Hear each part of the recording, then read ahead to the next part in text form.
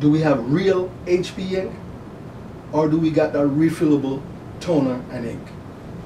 What do you think? Ivan, you need some real HP ink. Really? Really, Staples across the street.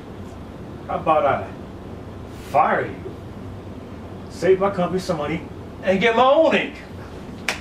Ever since that day, the office workers have been happier.